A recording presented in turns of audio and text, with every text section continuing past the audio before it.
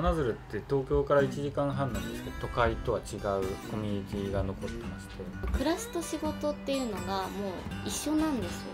なんかオンとオフみたいのがなくてなんかみんな今ここに生きている感じがすごくあるんですよ。